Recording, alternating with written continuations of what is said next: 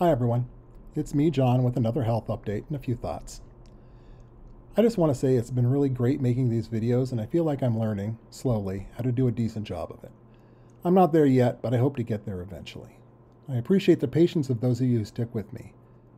My channel is small, and even though it says I have 750 plus subscribers, that number is misleading. I made a semi popular video over 12 years ago, and then I didn't pay any attention to YouTube for another 10 years. Meanwhile, people subscribed slowly over those 10 years and it built up. I don't believe most of those old subscribers spend much time here. I then did this little trick again two or so years ago.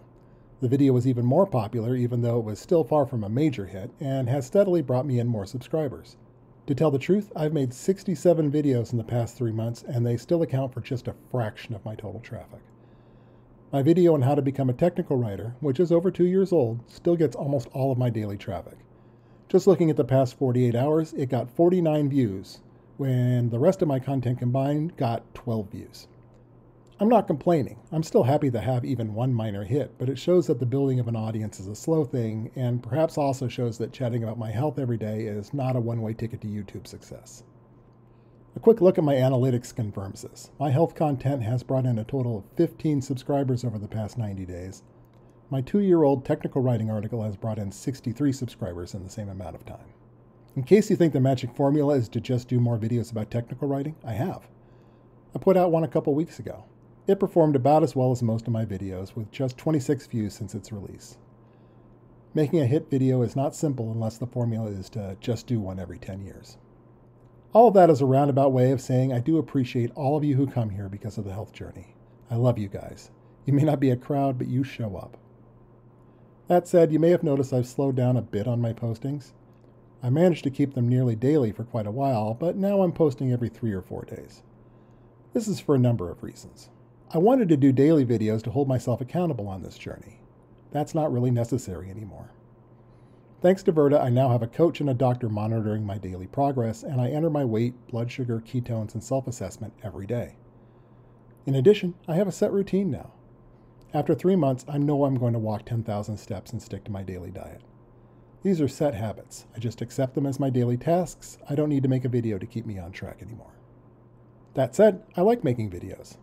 I'm just going to limit the amount of health ones to about once a week going forward, with the occasional extra if I have a health event to discuss.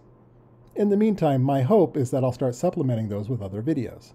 Some will be about technical writing, but I don't really want to limit myself. I like making videos, and I want to make videos I like, so that's what I'm going to do.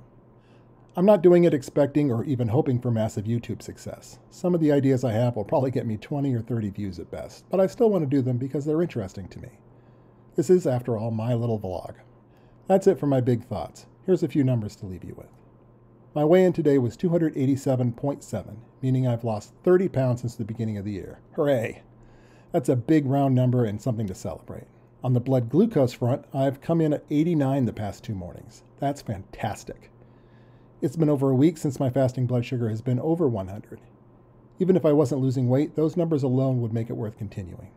It's kind of weird to announce daily ketones, since they say it doesn't really matter as long as you're over 0.5. I've managed to keep them over 0.5 every day this month with the exception of the first day, so I'm solid there. I've also managed my 10,000 steps every day, although my watch battery gave out on me yesterday, so I'll just have to go by the amount of time I walked, but I'm sure I got there. I'm not going to go over the other numbers now, but next week I'll do my three month assessment and just drown you guys in numbers. Until then, I leave you with my Sir Terry Project quote of the day. This one is from Nation. Silence fell like a hammer of feathers. It left holes in the shape of the sound of the ocean. Thanks for watching. Please like, please subscribe, please comment. I'll see you soon.